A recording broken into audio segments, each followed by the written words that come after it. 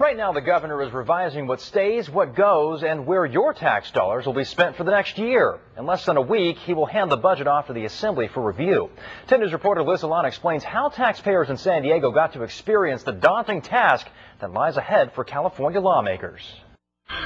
The library at San Diego High School was transformed into the state capitol with San Diegans as the assembly trying to balance a budget with a $22 billion deficit, keeping everyone's interests in mind. Nearly 200 people at the library. This little clicker took them through the budget process. Number one is no change, so uh, fees will increase about 10%. The second one is uh, no fee increases for five years. With a panel of state representatives guiding them, citizens decided what was important and what could be cut. The uh, answer here would be 31% uh, wants to keep fees flat, and that will uh, add about 1.4 billion to the deficit. California is the only state that needs a two-thirds majority to pass a budget or raise taxes. For the first time, these taxpayers realize just how difficult that is, living in a state that is facing one of the worst economic downturns in its history. The debate got heated over heavy taxes on corporations that get pushed out of the state. And perhaps especially Intel, the big chip maker, began here in California and closed out its last factory here a long time ago because of that.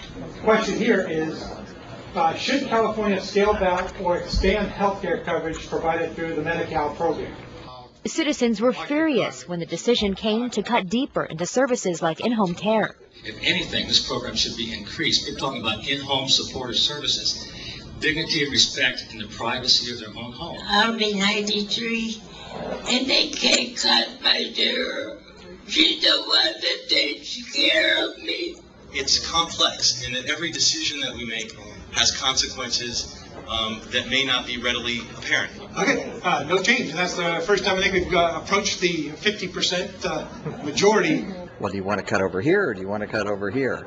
And either one is, is a bad choice. Uh, so that's that's really an eye opener. The taxpayers in this room actually came up with a $7.8 million surplus. As for the real budget, the next step will happen on May 14th. That's when the governor is expected to hand it to the assembly.